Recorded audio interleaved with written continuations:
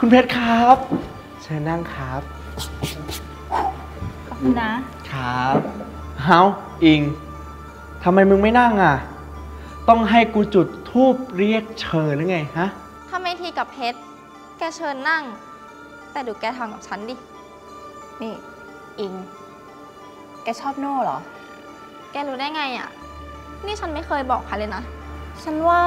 โน่อะชอบแกนะ มันก็เลยแบบ แก้เขินโดยการด่าแกไง ไม่หรอกมังแก ลองจีบดูดิ ไปสารภาพรักเลย เราชอบโน่อะ